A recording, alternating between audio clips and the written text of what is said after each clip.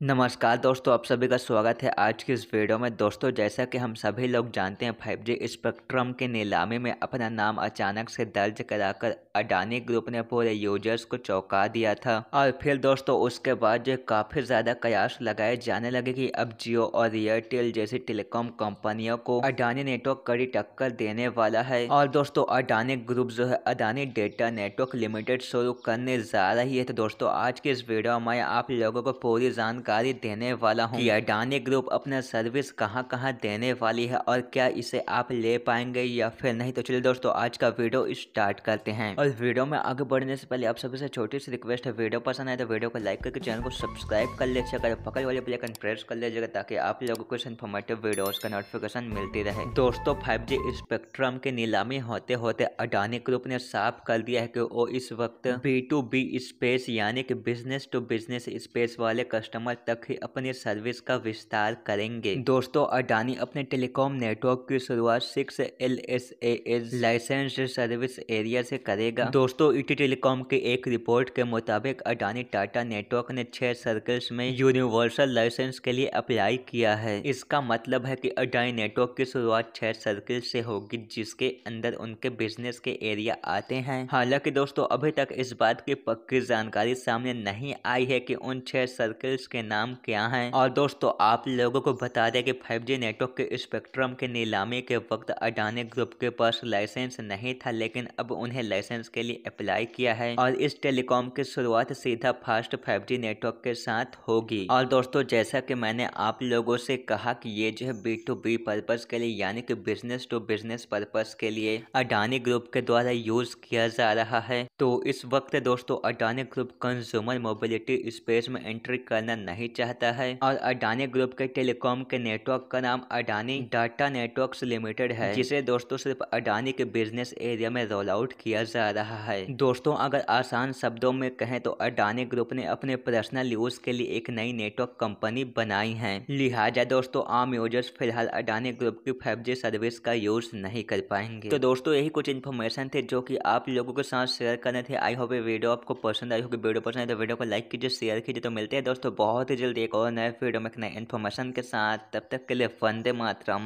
Jai Hind.